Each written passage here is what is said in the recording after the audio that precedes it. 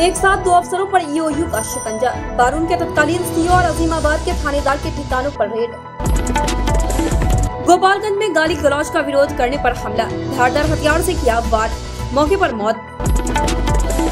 ईद की नमाज़ पर अफवाहों का डर। गांधी मैदान में सुरक्षा को लेकर की जा रही तैयारी।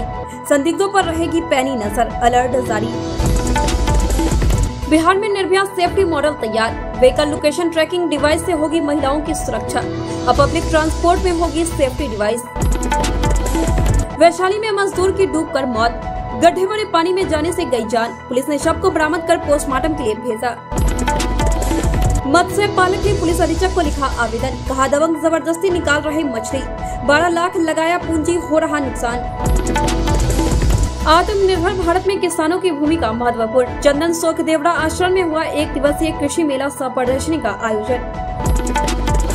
बेतिया में मंदिर के बाहर मिला गाय का पूछ असामाजिक तत्वों ने माहौल खराब करने का किया प्रयास। मंदिर के गेट पर मिला गाय का पूछ मुंगेर में करंट लगने से छात्र की मौत। नौवीं क्लास में नामांकन कराकर घर वापस लौट रहा था। हाई टेंशन तार की चपेट में आया। बिहार कोरोना के साथ एईएस व जेई की एक साथ होगी निगरानी। बेतिया में शॉर्ट सर्किट से घर में लगी आग, लाखों की संपत्ति जलकर हुई खाक।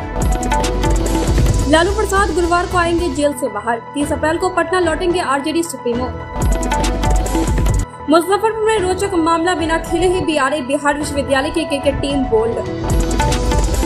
नीतीश ने लालू परिवार को दावत पर बुलाया। जदयू की इफ्तार, पार्टी में आरजेडी नेताओं को न्योता। मुजफ्फरपुर युवक की मौत के बाद से निजी अस्पताल के प्रबंधक समेत कर्मियों को बनाया बंधक। इस न्यूज़ के प्रस्तुत करता है city centre the complete multi brand men's wear showroom Subhash Chowk Darbhanga. ली एक सक्लूसिव शोरूम सुभाष चौक। और दैनिक कौमी तंजीम न्यूज़पेपर दरभंगा। पचास वर्षों से आपका विश्वासी दुबे क्लिनिक अपने उत्कृष्ट सेवाओं के लिए कई राष्ट्रीय और अंतर्राष्ट्रीय अवार्डों से सम्मानित डॉक्टर सुनील दुबे के द्वारा सभी तरह के यौन रोग, गुप्त रोग एवं चर्म रोगों का सफल इलाज निसंतान दंपत्ति एक बार अवश्य मिले।